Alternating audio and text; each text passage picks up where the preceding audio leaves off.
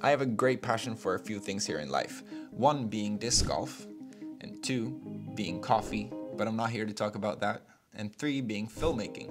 And for the past couple of months, I've been thinking to myself, how can I combine these three elements and focus it towards one single creative outlet? And I think I figured it out. In my hometown, there's a short disc golf course that I've played countless of times. But no matter how many rounds I've played, one goal has always stayed out of reach. A perfect round, finishing with a score of 9 down. This course is not even about having fun anymore. It has turned into a challenge I'm destined to overcome. Every hole has its own obstacles, but I'm determined to get them all in one round. This is my journey to finally playing a perfect round of disc golf. I woke up early this morning with a new idea to make this more interesting. I will attempt to play a perfect round with only one disc. And if I don't play a perfect round today, I will try again soon with a new disc. Let's go and play some disc golf.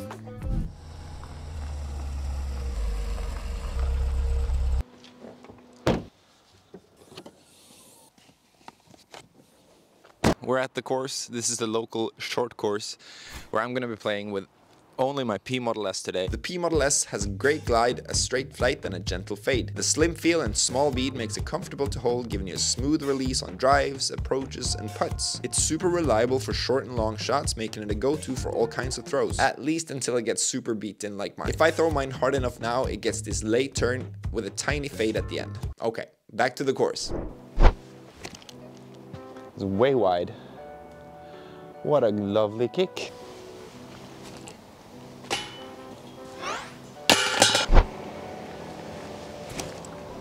Come on. Oh, that was so close.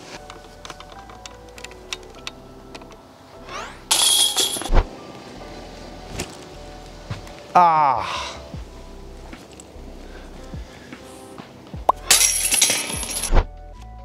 There we go, that's what we needed. Sit. Well, okay, we got a birdie putt. There we go.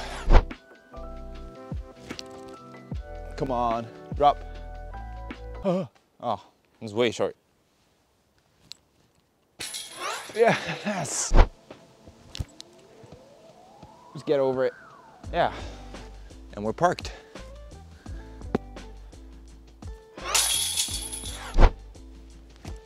Yeah, that could do it. That almost hit the basket. Come on. Ah. Oh, I didn't even turn it. Sit. Okay. Okay, we got to the basket at least.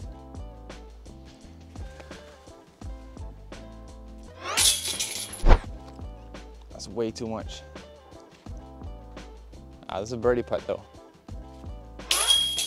I did not play a perfect round today, but honestly I'm not too worried about it because I played 6 down, which is only one off my personal best. But I'm not giving up that easy and I got plenty of discs to try out, so stay tuned.